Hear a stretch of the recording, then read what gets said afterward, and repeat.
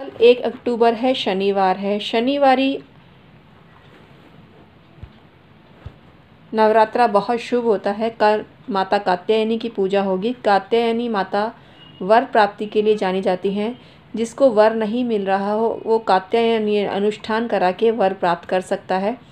ये ऐसा अचूक टोटका है जो कभी खाली नहीं जाता। आज हम आपको बताने वाले हैं पीपल वृक्ष की जड़ में या पीपल वृक्ष के ऊपर आप ऐसा क्या चढ़ाएँ, जो रोज़ाना आपके घर में पैसा आता रहे।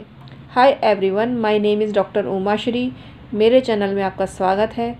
आई होप मेरे सब्सक्राइबर और व्यूवर्स खुशहाल ज़िंदगी बसर कर रहे होंगे। मेरी ब्लेसिंग्स हमेशा उनके साथ होती है।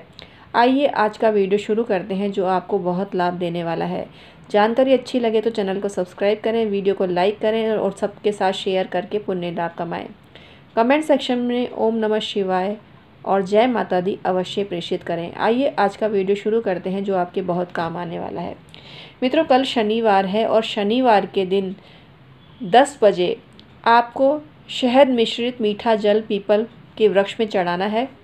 पीपल वृक्ष में आप मीठा जल चढ़ाते हैं तो माता लक्ष्मी का आशीर्वाद और कृपा आपको मिलती है। लेकिन वीडियो में बने रही अंत तक, क्योंकि इतनी जल्दी हम आपको छोटा सा उपाय नहीं बता सकते हैं। लिस्ट बड़ी लंबी है तो वीडियो को पूरा देखिए, आपको ज़बरदस्त लाभ आज के वीडियो में मिलने वाला है। तो आइए आज का वीडियो शुरू करते हैं जो आपके बहुत काम का है।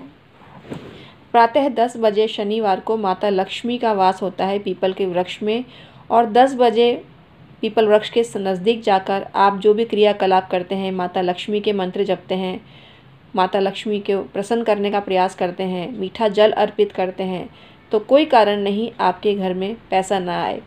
बिना बहाने के ही आपके पास इतना पैसा अथा धन आने लगता है। रोज़ाना आपको जीवन में पैसा आने लगता है। आज हम आपको बताने वाले हैं पीपल की एक और वैरायटी है जिसको पीपल, पारस पीपल बोलते हैं और पारस पीपल आपको किसी भी नर्सरी में मिल जाएगा।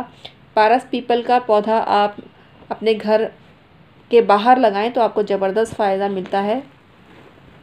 पारस पीपल ऐसा पौधा होता है जो संपूर्ण भारतवर्ष में पाया जाता है।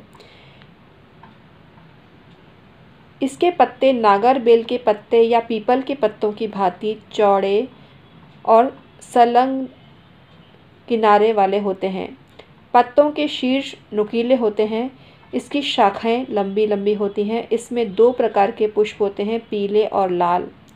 ये बहुत ही शुभ पौधा होता है। ये बेसिकली प्राचीन काल में देवालयों के समीप अनिवार्य रूप से लगाया जाता था। यह वृक्ष देवों को अत्यंत प्रिय होता है। तो ये आपको अपने घर के समीप ज़रूर लगाना चाहिए। इससे आपको फ़ायदा मिलता है। ये वृक्ष ब्राह्मण जाति का है और ब्राह्मण वर्ग के लोग अध्ययन, अध्य, अध्ययन और अध्यापन से जुड़े हुए लोगों को इसके, इसको अपने घर में लगाना चाहिए। ऐसा करने से उनका सर्वाधिक कल्याण होता है। पितृदोष से पीड़ित व्यक्तियों को पारस पीपल पल, पर जल अर्पित करना चाहिए, परिक्रमा लेनी चाहिए और इसके नित्य नज़दीक दो अगरबत्तियाँ लगाने से पितृदोष में न्यूनता आती है और कुप्रभाव नहीं पड़ता है। किसी भी दिवालय में जो व्यक्ति एक या अधिक पारस पीपल के वृक्ष लगाता है या रोपण करता है, उसकी सब पीढ़ियाँ तर जाती हैं।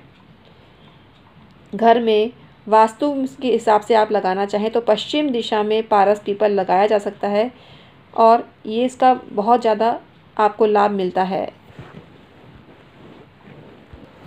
कई बार ऐसा होता है, लोग निर्माण तो करवाते हैं, लेकिन अनेक बार ऐसा होता है कि किसी भी कारण से समस्या खड़ी हो जाती है और भवन निर्माण कराने में कोई मदद नहीं मिलती है। तो इसके लिए आपको एक डिब्बी में थोड़ा सा सिंदूर लेना है और पारस पीपल का फल उसमें रख दें, पूजन करें और इस डिब्बी को कहीं भी संभाल के रख दें। नित्य, धूप, दीप और अगरबत्ती दें। परिणाम स्वरूप आपका मकान बन जाता है और कोई भी बाधा देखने को नहीं मिलती है। बच्चों के कमरे में पारस पीपल के फल लटकाने से उनका प्रोटेक्शन होता है और उनको नज़र नहीं लगती है। बच्चे स्वस्थ रहते हैं। अध्ययन में उनका मन लगता है और बुरे सपने नहीं आते और निद्रा अच्छी आती है। पारस पीपल से नज़र दोष में भी लाभ होता है। और इस इसके बीज का ताबीज़ लगाकर अगर आप पहनाते हैं तो जातक को नज़र नहीं लगती और उसको हर क्षेत्र में लाभ होता है।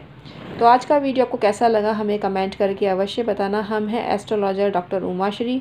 ऐसी ही जानकारी लाते हैं जो आपको अच्छे फल करती है। आप पारस पीपल के जो बीज हैं, उनको पूजा स्थान में रखें और उनको शुभ लाभ उनके समीप लिखें। और विधिवत पूजा करते हैं तो आपके घर में रोज़ाना पैसा आता रहता है। Thank you so much